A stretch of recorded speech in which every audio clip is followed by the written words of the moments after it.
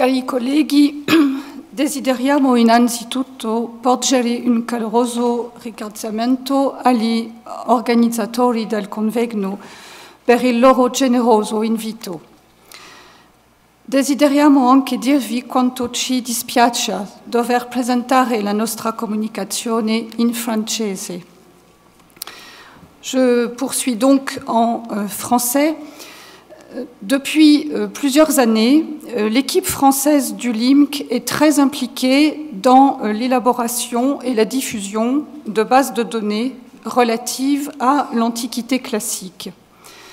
Cette implication s'est concrétisée au fil du temps par la création de deux ensembles de ressources numériques qui sont à la fois autonomes et interactifs. LIMC France, euh, dont vous avez euh, la page d'accueil euh, à gauche de l'écran, et Qualitea, dont vous voyez la page d'accueil à droite. Ce sont ces deux ressources que nous allons vous présenter aujourd'hui en nous efforçant de vous montrer plus précisément ce qu'elles peuvent apporter du point de vue de la thématique de ce colloque, c'est-à-dire la fortune du monde antique et euh, de la tradition artistique. Euh, nous verrons aussi quelles ont été les solutions techniques adoptées pour répondre à ces exigences scientifiques et euh, pour permettre l'insertion de ces données dans euh, ce qu'on a l'habitude d'appeler maintenant les Digital Humanities. Je vais d'abord dire quelques mots euh, rapides sur la genèse de ces deux projets, dont l'un est beaucoup plus ancien que l'autre. Le site LIMC France, qui a été ouvert au public en 2003, est étroitement lié à la réalisation du LIMC, le lexique iconographique de la mythologie classique, dont vous voyez à gauche euh, les 18 volumes plus les deux volumes d'index. Alors évidemment, pour euh, rassembler l'énorme documentation euh, qui est analysée dans ces 18 volumes, l'équipe française a effectué de nombreuses missions dans les musées et sur les sites archéologiques, en France bien évidemment, mais également dans divers pays d'Europe et du bassin méditerranéen. Et très vite, nous avons été confrontés à euh, la difficulté de gérer cette énorme documentation. Il y avait des milliers de fiches analytiques et de photographies. Et dès les années 1980, nous avons commencé à informatiser ce fonds documentaire. Petit à petit, nous avons fait évoluer ce système informatique et euh, nous avons développé un ensemble de ressources numériques euh, qui complètent ou qui accompagnent la version papier euh, du LIMC. Et ces ressources informatiques sont désormais accessibles sur le site LIMC France, dont vous avez à droite la page d'accueil et l'URL. Alors, ce site euh, LIMC France donne accès à trois bases de données ou outils numériques.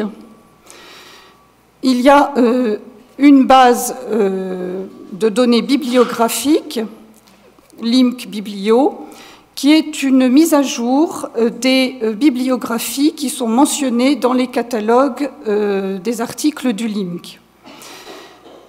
Il y a ensuite un outil numérique LIMC abrève qui permet euh, de retrouver euh, instantanément, facilement, les titres complets euh, des ouvrages et des périodiques qui sont mentionnés sous forme d'abréviation dans les volumes du LIMC et également dans la nouvelle publication de la Fondation pour le LIMC, le TESCRA, et aussi sur le site web LIMC France.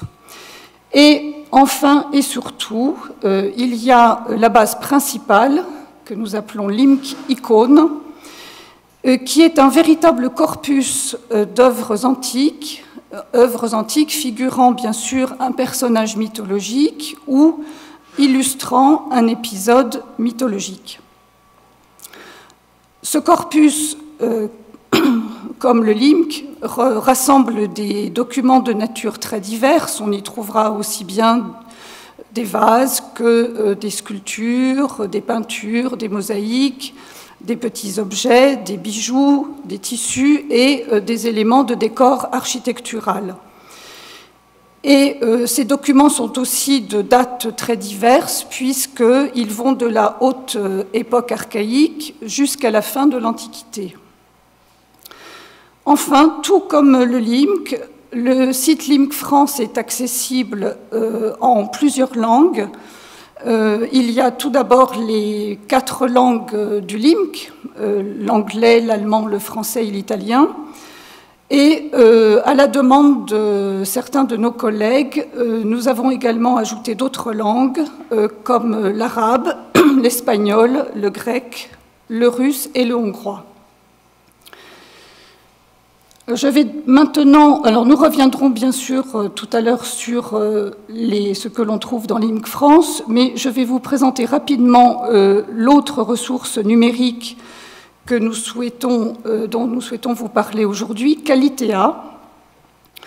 Euh, Qualitéa qui est une réalisation euh, beaucoup plus récente puisque le site a été ouvert au public en mai 2012, il y a donc quelques mois seulement.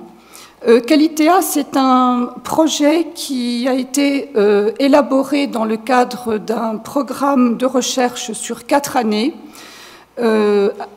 programme qui euh, associe euh, les spécialistes des images euh, que nous sommes et des philologues de l'École normale supérieure de Lyon.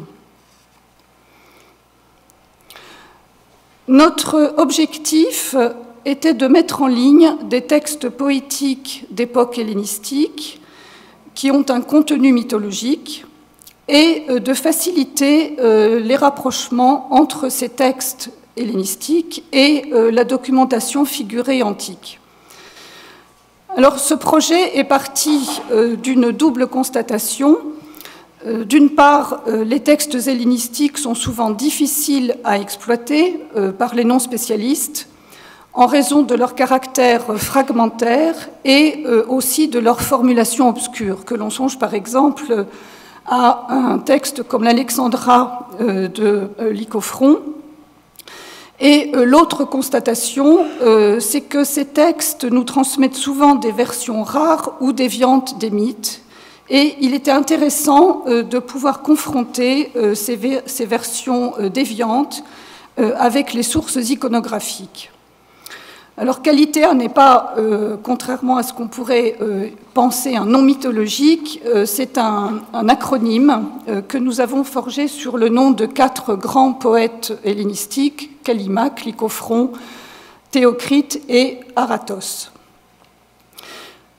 Alors que, trouve-t-on dans euh, Eh bien, euh, on trouve d'abord bien évidemment euh, le texte euh, original, le texte antique en grec.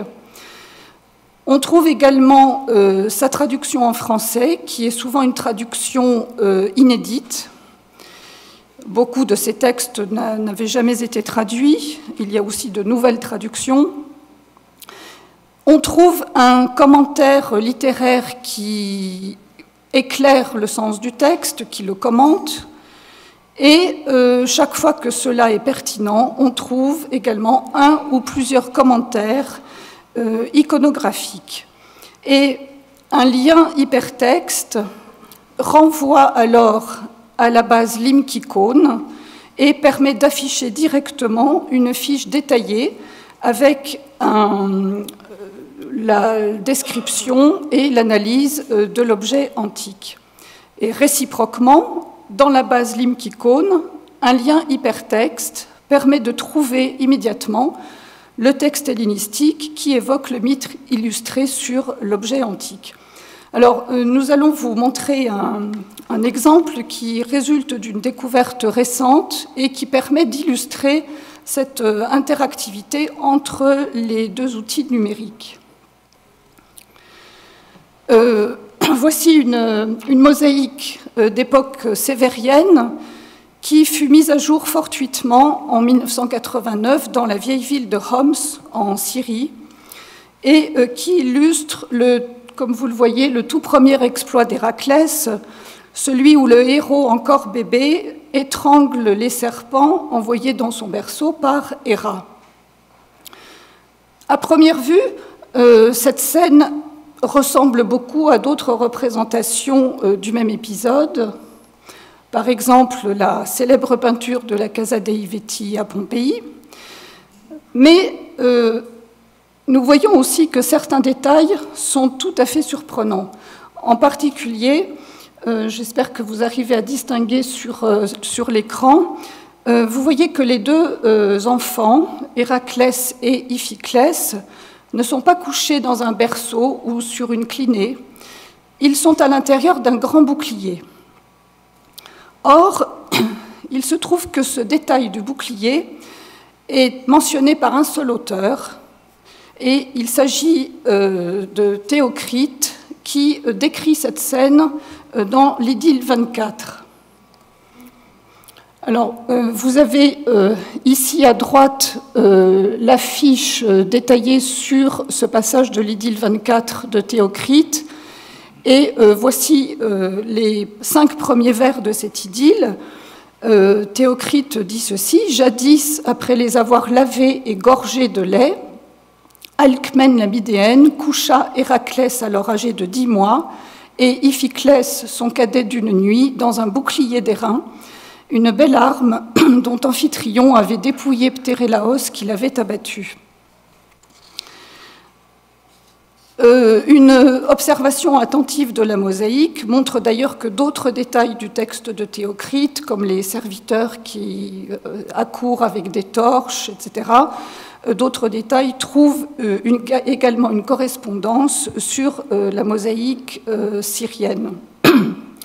Alors, l'internaute qui s'intéresse à cette mosaïque et qui s'interroge plus précisément sur ce curieux détail du bouclier, l'internaute trouvera dans la fiche qui lui est consacrée dans la base Limkicone un lien hypertexte permettant d'afficher directement dans la base Qualitea la notice consacrée à l'idylle 24 de Théocrite avec un commentaire portant sur ce bouclier.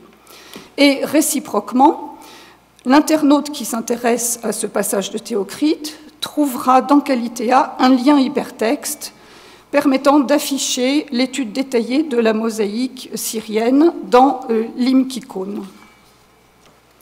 Alors après euh, ce premier exemple qui permet d'illustrer l'interactivité entre les deux ressources numériques, je vais passer la parole à Anne Violaine qui va euh, vous montrer à l'aide d'un autre exemple ce que euh, le corpus LIMC France peut apporter du point de vue de l'étude de la fortune du monde antique.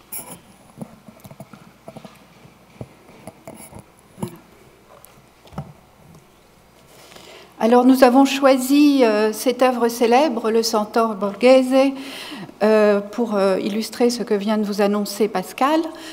Centaure qui a été découvert à Rome et qui est aujourd'hui conservé au Louvre. Le centaure borghese est au cœur de la fortune d'un type iconographique connu par de nombreuses copies, répliques ou réinterprétations d'un modèle original. On voit à gauche un ensemble de dessins de ce centaure réalisés du XVIIe siècle au XIXe siècle, avec entre autres des exemples de Rubens et de Paul Cézanne, ah non, Cézanne, vous allez le voir tout à l'heure.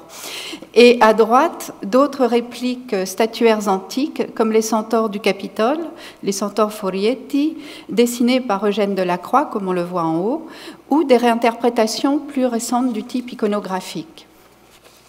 Le centaure borghese, figuration antique d'un personnage mythologique, est représentatif des œuvres étudiées dans l'Imkikon, qui est un corpus électronique d'objets, une sorte de musée virtuel.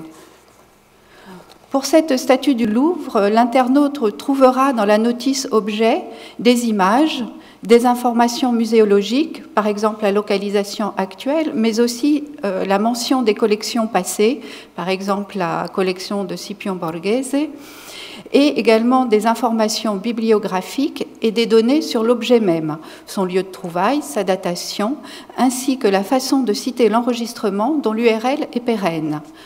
L'internaute ou l'utilisateur trouvera aussi une étude iconographique détaillée qui est au cœur de notre travail, en l'occurrence la description du vieux centaure aux mains liées par un amour. On voit ici euh, un écran euh, consacré à l'iconographie avec plusieurs images, des photos anciennes, des photos plus récentes, mais aussi euh, des dessins anciens. L'utilisateur trouvera également dans une notice consacrée aux témoignages anciens des documents d'archives sous la forme de texte ou d'images sur un événement replaçant l'objet dans un contexte, par exemple le récit de sa découverte, ou sur un état ancien de l'objet. Euh, par exemple, les références sur les trois dessins de Rubens, euh, que Rubens a fait de cette statue vers 1606 ou 1608, avant sa restauration, et qui restitue cet état euh, fragmentaire de la statue lors de sa découverte. D'autres dessins, ce que l'on voit ici euh, dans l'écran consacré au témoignage, d'autres dessins montrent la statue rénovée, rénovée au, fil, des siècles. Ici, il s'agit d'un lavis du XVIIe siècle que l'on peut retrouver sur Gallica, le site web de la BNF, la Bibliothèque nationale de France. Voilà, ça c'est le petit dessin. Et ici, euh, l'un des dessins de Rubens avec l'état fragmentaire. On voit que le, bras est cassé. Euh, grâce à euh, des, associations au sein de la base Limkikon, euh, on peut établir des liens entre des objets aujourd'hui dispersés. Dans le cas présent, le vieux centaure borghese est associé à la statue du jeune centaure, aujourd'hui conservée au Vatican, avec laquelle il formait très probablement un groupe à l'origine. Datés du 1er siècle après Jésus-Christ, ils sont faits du même marbre et furent retrouvés à plus d'un siècle et demi d'intervalle à Rome, sur la colline du, Latran, dans la zone de la Villa Fonseca. Un internaute s'intéressant à la fortune d'une œuvre dans l'Antiquité ou au modèle d'origine de création plus récente pourra retrouver tout un ensemble d'informations dans l'Imkikone. Ici, on voit le centaure borghese et celui du Vatican à gauche, et en haut à droite, le groupe des, euh, centaures du Capitole, les centaures Furietti, celui euh, de la Villa Doria Pamphili, ainsi que des fragments présentant des, similitudes, un corps de Vienne, une tête qui, euh, reproduit le même, le même type iconographique, ainsi que d'autres objets, ici une gemme de Leiden, de la haie, qui montre le même thème. Autant de documents qui permettent, par leur rapprochement, d'imaginer et de reconstituer le modèle original et son contexte de création, sur laquelle euh, nous, faisons également euh, une, notice objet, puisque la base Limkikon intègre également les objets perdus. Alors, il s'agit d'un groupe statuaire de la deuxième moitié du deuxième siècle avant Jésus-Christ, probablement en bronze, réunissant un jeune et un vieux centaure associés à des amours, qui pourrait être une allégorie des effets contrastés de l'ivresse sur le désir amoureux. On trouvera dans cette notice sur cet objet perdu également un lien vers une épigramme de Posidipe de Pella, étudiée dans Calitéa, associant le comos et la souffrance du désir amoureux. Épigramme qui date du deuxième quart du IIIe siècle avant Jésus-Christ. Euh, j'en profite pour dire que tous ces rapprochements, évidemment, permettent de, euh, signaler que le, le, lapin tenu par le jeune centaure euh, du, du Vatican a été rajouté et n'existait pas dans le modèle d'origine. Donc le vieux centaure le vieux centaure a connu un regain de célébrité après sa découverte au début du XVIIe siècle et a suscité l'intérêt des artistes jusqu'à nos jours, soit directement, dans le cas des dessins de Rubens et de Cézanne, cette fois, euh, voilà l'un dessin de Rubens, voilà le dessin de Cézanne, qui sont des copies directes de l'œuvre, soit à travers des œuvres dérivées ou des réappropriations du schéma, le tableau du Christ à la couronne de Rubens. Là, on voit les, parallèles. Euh, on a ici une copie par euh, Willem van Eyck du troisième dessin de Rubens. Ici, un dessin de Jordens. Là, des œuvres dérivées euh, dans, le, dans le parc de Versailles, à Trianon ou encore des œuvres beaucoup plus récentes, ici de Joël Peter Whitkins en 1992. Euh, un internaute s'intéressant à ces œuvres plus récentes et à leur type iconographique d'origine pourra trouver des informations dans témoignages, dans la notice témoignage, euh, mais aussi des liens hypertextes sélectionnés sur des critères scientifiques vers d'autres ressources numériques, par exemple vers Arachné, qui donne accès à plusieurs gravures, notamment celles publiées par Maffei. Parallèlement à ce travail, là ici on voit euh, oh, bon, tant pis, c'est passé, mais on voyait la, notice euh, euh, témoignage avec plusieurs gravures. On peut avoir également des, mentions écrites. voilà. Alors, parallèlement à ce travail de recherche, nous essayons d'aller au-delà de ce réseau d'informations scientifiquement choisi et associé grâce aux liens hypermédias. Et nous essayons d'améliorer la diffusion et l'utilisation de nos données. Pour cela, nous avons privilégié plusieurs approches, plusieurs moyens. Dans le cas de Qualitea, nous souhaitions que les données soient adaptées aux standards pour l'édition électronique, la TEI, Text Encoding Initiative, et nous avons délocalisé l'application pour l'insérer dans une plateforme numérique thématique consacrée à l'édition électronique de manuscrits anciens, euh, réalisée par Telma, une équipe de l'Institut de recherche sur l'histoire des textes. Grâce à ces choix, le corpus Callitea est actuellement préparé à être exposé sur le portail Isidore, que l'on voit en bas à droite, euh, qui est un agrégateur web produit par le CNRS pour donner accès à la production scientifique. Isidore moissonnera les métadonnées, principalement en Dublin Core, dans un, dans un entrepôt OAI-PMH. Des principes similaires sont actuellement mis en place pour les données LIMCE France. Un entrepôt est en cours d'installation dans notre institut pour le portail international Claros et pour IDA, portail qui réunira euh, des corpus d'objets qui, comme l'IMKICON, ont une spécificité recherche. IDA signifie interopérabilité des documents anciens et rassemblera des corpus d'objets associés à des publications ou s'intéressant aux collections anciennes. Pour nous, l'élaboration de ces portails va au-delà de l'augmentation de la visibilité de nos données, puisque parallèlement, nous travaillons également sur les normes et standards pour l'interopérabilité des données selon trois axes principaux un axe sur les données géographiques, la géolocalisation et le web mapping, pour visualiser le parcours historique et géographique de nos objets et images et la répartition d'un thème iconographique grâce à, l'utilisation des coordonnées géographiques de type latitude-longitude et du standard WGS 84. Voilà des exemples de web mapping. Cette approche s'insère dans un nouveau développement de nos recherches sur l'histoire des objets et des collections, et ce programme visera également à réfléchir aux informations à prendre en compte et comment le faire. Par exemple, pour les centaures, on pourrait s'intéresser au déplacement historique des objets et du thème iconographique, mais aussi à la provenance des marbres qui est extrêmement intéressante dans cette étude. Euh, un autre axe porte sur les référentiels culturels dans les métadonnées de l'image numérique à travers le XMP et le IPTC. Je ne vais pas m'étendre sur ce point, mais plutôt sur le troisième axe qui porte sur euh, les ontologies relatives à l'information sur le patrimoine culturel, le SIDOC IRM et les standards pour l'interopérabilité comme le LIDO, euh, qui a été conçu pour les collections de musées. Le schéma de pivot pour l'interopérabilité euh, des données LIMCE France est en SIDOC CRM pour Claros. On voit ici l'écran d'accueil de Claros, qui est un portail international euh, réalisé en collaboration avec le Beasley Archive d'Oxford, mais également l'équipe d'Arachné. Euh, le schéma pivot euh, que l'on est en train d'établir pour IDA est en LIDO et en SIDOC CRM pour conserver sa spécificité recherche. Et ce travail pour IDA prépare un accès à nos données à partir d'Isidore. La modélisation de l'information culturelle et l'adaptation des données à ces standards, nécessaires à l'insertion de notre production scientifique dans les digital humanities.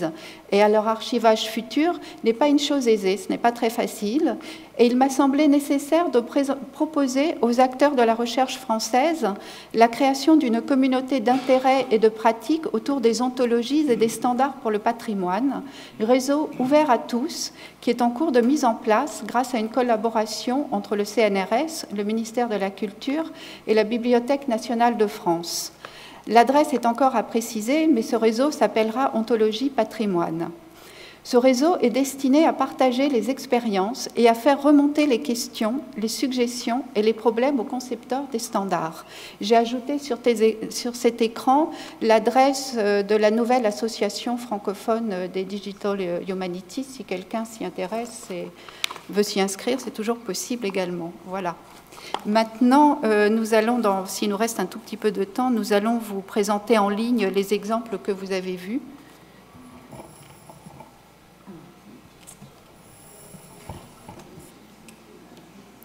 Qu'on fait comme interrogation euh, Tu veux euh, la mosaïque On parle de qualité euh. Ah, voilà, vas-y. Ah.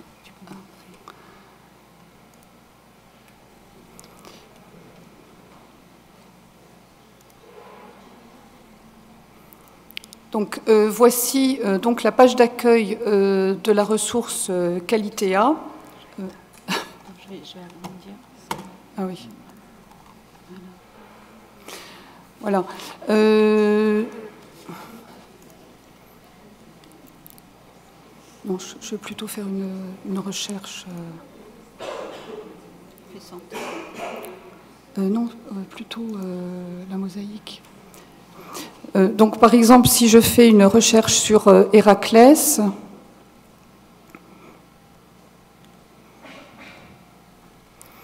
je vois apparaître 80 résultats. Euh, ce qui vous donne euh, aussi euh, l'occasion de voir les, auteurs que nous avons déjà saisis. Il y a actuellement 525 fragments de textes hellénistiques qui sont accessibles en, ligne. Donc vous voyez certains anonymes ou Apollionos de Rhodes, beaucoup, Calimac. Euphorion, etc. Euh, si je vais maintenant dans la, recherche euh, avancée, euh, je peux faire une interrogation sur Théocrite et par exemple le mot-clé bouclier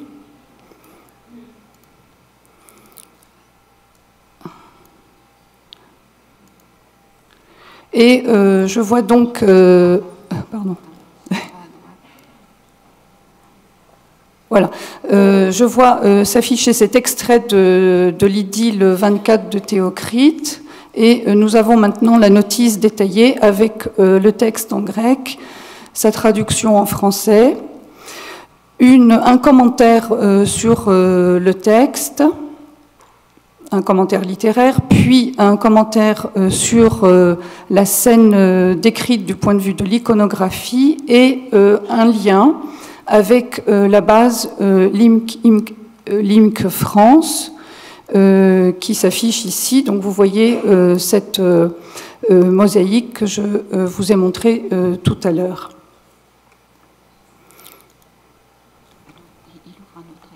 Ah, voilà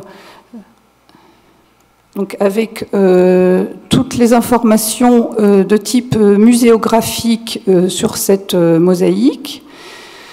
et si je clique sur, parce qu'il y a plusieurs, c'est un grand ensemble de, c'est un grand pavement avec plusieurs scènes relatives à la geste d'Héraclès. Et si je clique sur cette scène-ci. Euh, j'ai donc une description euh, de la scène figurée et deux autres photographies, et en particulier une photographie de détail avec les deux enfants dans le bouclier. Donc, je reviens là pour. voilà. non, parce que je voulais revenir sur la, fiche. voilà. Alors, si, je reviens sur la, notice euh, muséographique, je vois qu'il y a euh, des liens euh, hypertextes et si je clique dessus, je reviens à la notice détaillée sur l'idylle de Théocrite dans Qualitéa. Tu veux faire une recherche sur les centaures?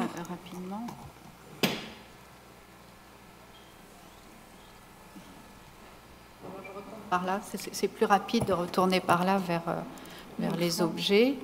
Donc si je cherche le centaure euh, du Louvre, ou les centaures peut-être plutôt.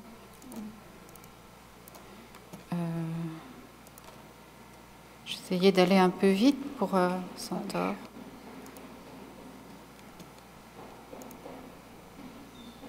Voilà, il y a un certain nombre d'objets, comme vous pouvez le constater. Je crois que le centaure du Louvre, il est là. Voilà, voilà, vous avez la fiche objet avec, comme je vous l'ai signalé tout à l'heure, euh, la localisation actuelle, mais également la mention de la collection Borghese et les conditions de l'acquisition, euh, les informations sur le lieu de trouvaille. Euh, des liens vers Qualitéa, mais vous avez vu déjà précédemment comment cela fonctionnait. les renvois aux articles du LIMC, beaucoup de place pour écrire librement des commentaires ou des informations supplémentaires. Euh, l'affiche, euh, la notice iconographique détaillée, ici avec la description, et euh, un certain nombre d'images relatives à l'iconographie si je reviens à l'objet, je retrouve également euh, plusieurs euh, références euh, dans des témoignages ou dans des sources écrites ou visuelles, avec ce dessin notamment de la... c'est un dessin de 1680 qui est conservé à la Bibliothèque nationale et qui est accessible en ligne, voilà, que l'on voit ici. Et d'autres euh, rapidement pour poser un problème. Euh, voilà une, une, référence sur euh, les dessins de, de, Rubens avec beaucoup d'informations sur les documents dérivés. Et pour vous signaler aussi que nous sommes fortement confrontés, évidemment, comme tout le monde, sur les droits des images, et que là, il n'y a pas encore les dessins de Rubens, mais qu'on aimerait bien avoir au moins euh, le droit de diffuser celui sur lequel on voit euh, la statue fragmentaire, qui est euh, le point vraiment intéressant pour nous. Voilà, je crois qu'on peut s'arrêter là parce qu'on a pris pas mal de temps. Et si vous avez des questions, je ne sais pas.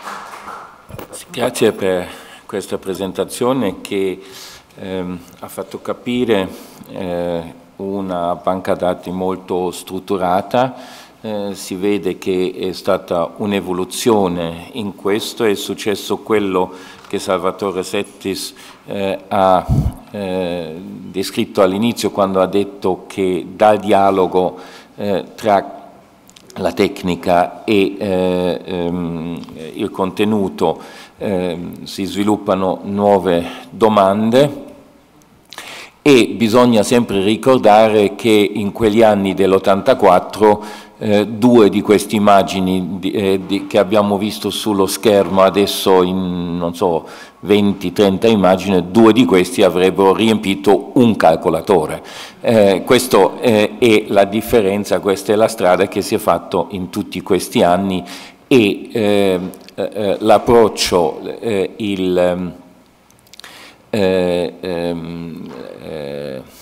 l'obbligo di mettere in ordine questi dati in una sequenza ehm, eh, in questo passato eh, ha portato anche a sviluppare ehm, ehm, progetti completamente come la eh, CalRTA e, e tutte, tutte, queste cose. Ehm, forse è utile fare subito le domande quando ancora sono fresche le, eh, le, impressioni delle banche date eh, perché eh, quello che avete anche dimostrato è il dialogo che voi avete con le altre banche date attraverso i vari portali e questa è una sfida che eh, hanno le, ehm, tutti questi progetti in questi anni. Per cui se ci sono delle domande adesso specificamente, se no possiamo anche eh, fare una cosa insieme alla fine, ma se ci sono delle domande precise, eh, Piggy sì.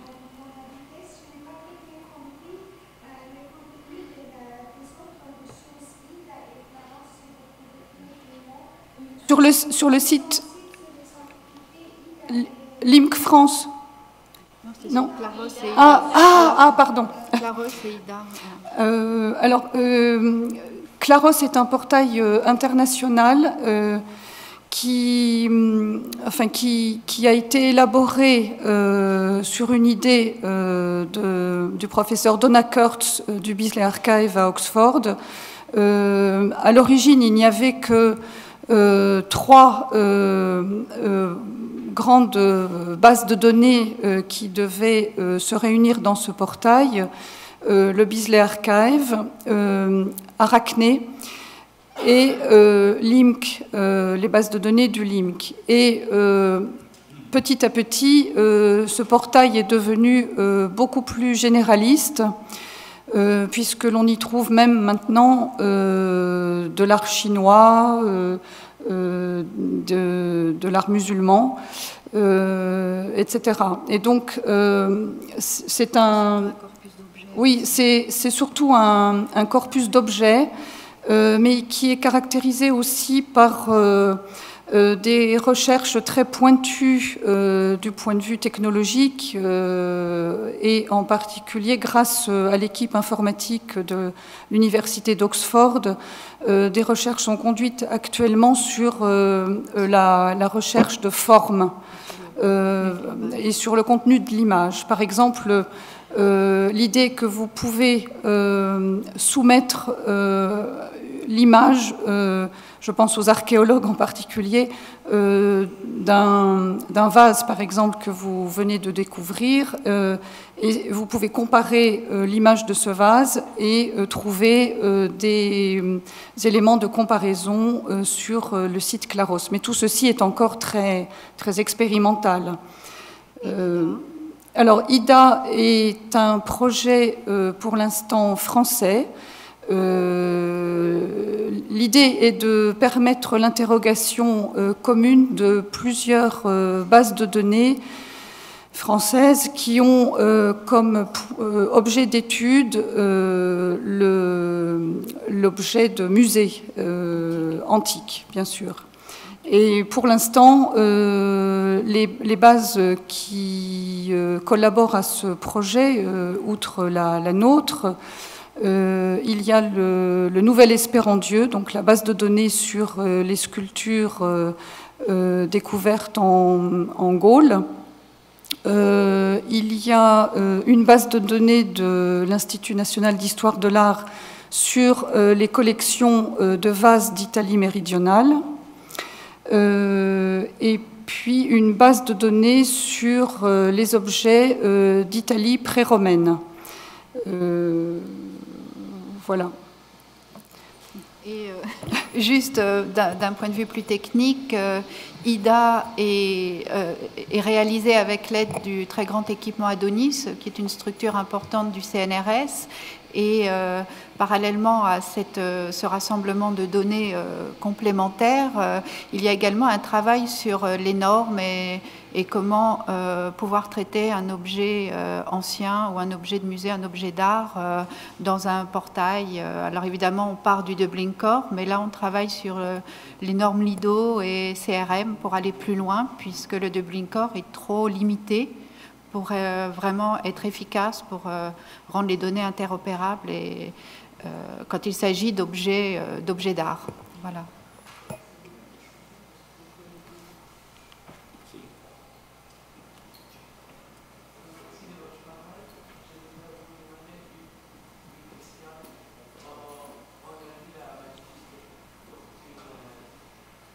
Iconographique de, de l'ancienne art euh, je voudrais vous demander, est-ce qu'il y a aussi euh, la fortune des textes euh, pour ce qui concerne Calitéa dans la Renaissance ou, ou non? Non, pas pour, pas pour l'instant, mais c'est une très bonne idée que nous pourrions envisager de développer aussi. Oui.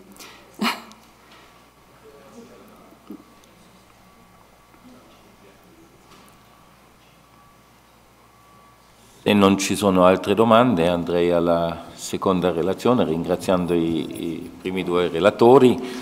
E eh, ci sarà